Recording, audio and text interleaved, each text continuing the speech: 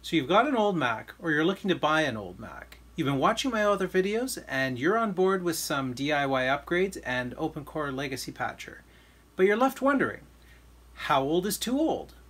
Because I'm sure you're already subscribed with the bell icon turned on, subtle hint if you aren't, you know that a 2012 iMac is still very usable in, in 2024, when appropriately spec'd and upgraded, of course. But how about a 2008 Mac Pro that you can find for almost free these days? If you've got a light workload, will it pull its weight in aluminum? Or should you pillage the couch cushions for some spare change and get something newer like this 2017? Today we're going to find out, so let's get started. This is the Mac Pro 3.1 from 2008, a successor to the original Intel Mac Pro, released in 2006. This is the oldest Mac Pro supported by OpenCore Legacy Patcher, at least as configured from Apple. This Mac has already been upgraded to 24 gigs of RAM, multiple storage hard drives, and an SSD. To make this comparison a little more fair, we'll be reducing the Mac Pro's 24 gigabytes to 16 gigabytes of RAM and removing the additional storage to bring those specs more in line with our 2017 iMac. The Mac Pro will be keeping its stock dual 3 GHz Xeon CPUs, although due to some limitations of the system, OpenCore limits older Mac Pros to 4 CPU cores to prevent some weird kernel panic type things from happening. Both systems will be upgraded to macOS Sequoia, and the Mac Pro will be getting a Radeon R9 390 GPU upgrade so that both systems have metal graphics acceleration. Make it a little bit more of a fair test. A video is planned to show the full upgrade process and to push this 2008 even further.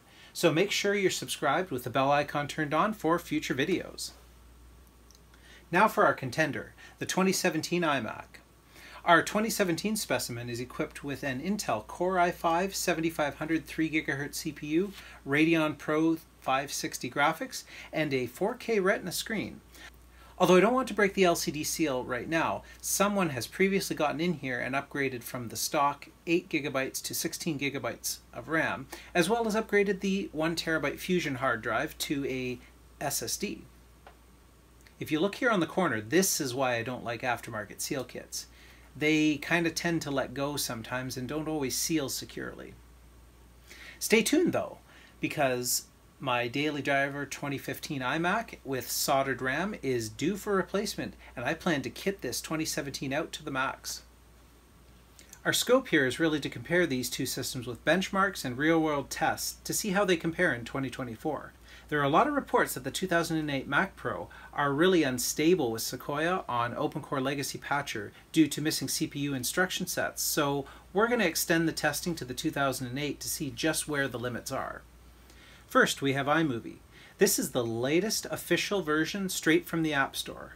As far as I can tell, iMovie seems to run absolutely flawlessly on the 2008 Mac Pro. It's important to remember that a metal GPU is absolutely necessary. This will not work on a Mac Pro's stock GPU.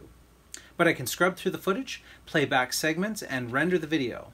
This is a relatively short render, and it seems to be taking longer than expected. Unfortunately, I don't think iMovie relies heavily on GPU for video encoding.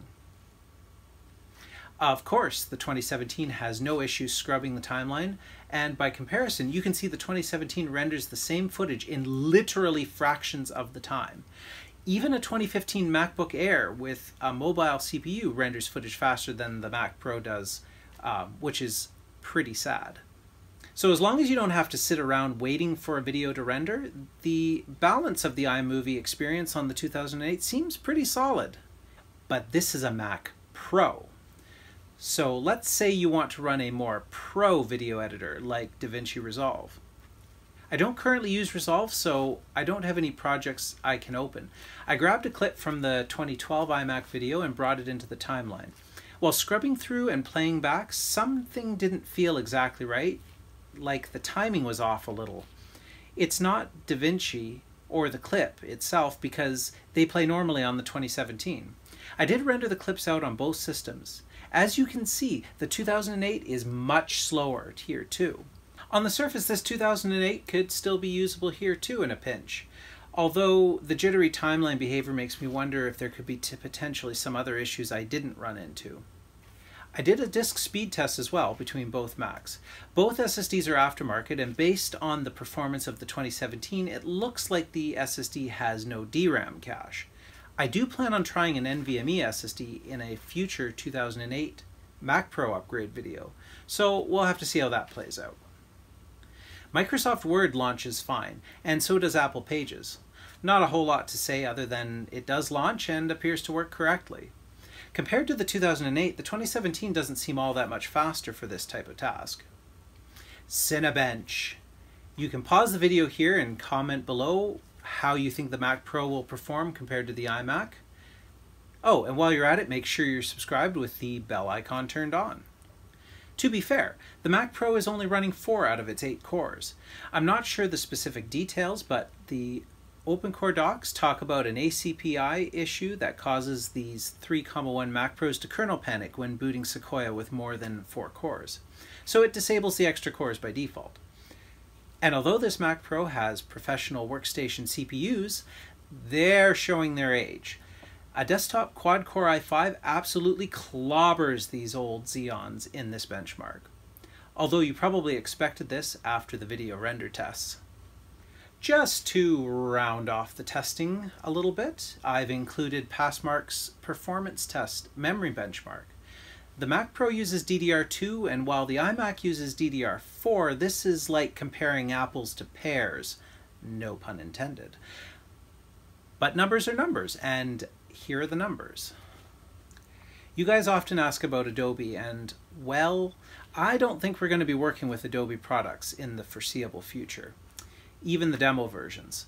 Adobe has taken a number of anti-consumer stances in its products and licensing. For photo editing, instead of Photoshop, we're going to be using Affinity Photo V2. No disrespect to the GIMP or any of you Linux users, but Affinity works a little more similarly to Photoshop. And I know the GIMP is free, but uh, Affinity is pretty affordable too. For a basic test, uh, we just need to make sure that the Affinity even launches on the Mac Pro. I loaded up a test image and applied an effect. I did try a few different ones and there doesn't seem to be any issues and it seems Affinity is working properly. Affinity also comes with this fancy benchmark tool you can see that the iMac scores higher in the CPU tests as expected, but the iMac's graphics is no match for the Mac Pro's Radeon R9 390. This one's less of a maybe practical test, but I think this one's important to do too. We need to have like a well-rounded test of uh, how these systems are going to perform. So now we've got Blender. Blender seems to run just fine. It opens the sample file and begins the render. Here's another example of how this old CPU is showing its age though in the Mac Pro. I don't know much about Blender and 3D rendering, but it seems to be using exclusively CPU to do its render. After doing some reading, it seems like it's possible to use GPU for rendering, however, only newer GPUs appear to be supported. Of course, since we're doing a CPU render, the iMac is doing much better. I didn't bother finishing the render because, let's be real here, it's not really practical to render images on either of these systems without GPU acceleration. Aside from that limitation, Blender does appear to work properly and appears as though you should be able to render an image if you had time to sit around waiting for it. 3D Graphics works as expected. With its beefy R9 390, the Mac Pro effortlessly doubles frames compared to the iMac with its little Radeon Pro 560. With this GPU installed, the Mac Pro is probably better suited for gaming than the iMac. This is really the only area the Mac Pro excels over the iMac. Truthfully, the GPU is probably a disproportionate upgrade. However, it was the only one I had on hand that I could get working that also supported metal. Although I didn't bother testing the iMac because I know that it already works, I did try Apple TV on the Mac Pro. I didn't play through a full show or anything, but I loaded up a random sample video and it played just fine. Smooth and no DRM issues. Safari seems to work fine too. I can load pages and play full screen video in YouTube. What more could a person ask for? We know GarageBand works on the iMac since it works perfectly on the older 2012 iMac, but I did want to test the Mac Pro. I still have curiosity of people talking about random crashes and kernel panics due to CPU's missing features.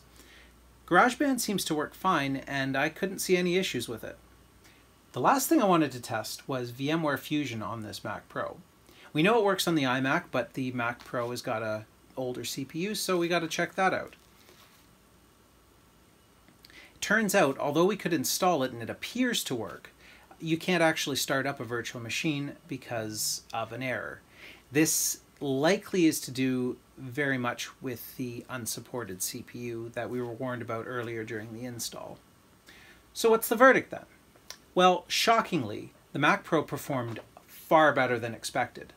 Don't get me wrong though, if you do want to do the Sequoia upgrade, then the 2017 iMac is by far the easiest.